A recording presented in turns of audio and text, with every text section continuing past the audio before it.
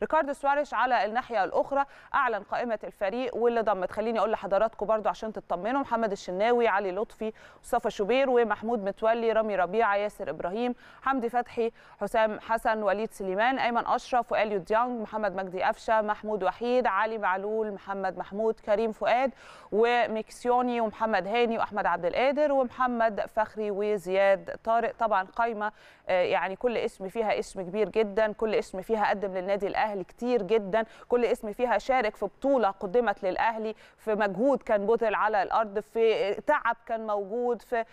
يعني اخفاقات برضو في ضغوطات يعني كل اسم مر مع النادي الاهلي بقصه كبيره جدا فخلينا نديهم كل الكريدت كل التحيه وكل الثقه ارجوكم باذن الله النهارده وكمان في الماتشات اللي جايه ده مهم جدا جدا